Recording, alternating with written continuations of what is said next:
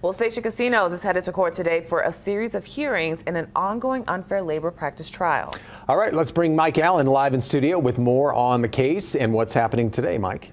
Yeah, good morning. So the National Labor Board, uh, National Labor Relations Board says Station Casinos violated national labor laws when it tried to persuade workers not to unionize. So we got a full breakdown of what the station is being accused of. Let's pull it up for you here.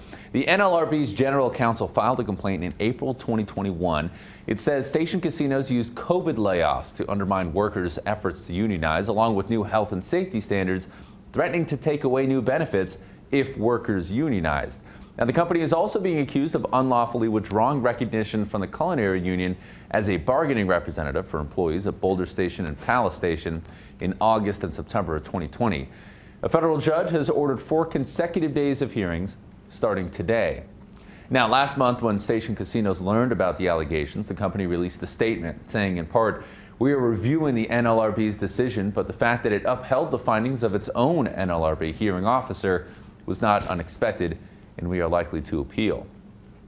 Now, ahead of today's hearing, the Culinary Union is holding a press conference at 10 this morning outside the Foley Federal Building and Courthouse. Last month, the union called Station Casinos an outlier in the Nevada gaming industry and says its upper executives need to be held accountable. And you guys, we have reached out uh, again to the Culinary Union trying to get a uh, fresh uh, thought ahead of today's press conference. Uh, but so far, I've not heard back. And if we don't before 10 a.m., uh, we will be bringing you what they say. Dave and Karika.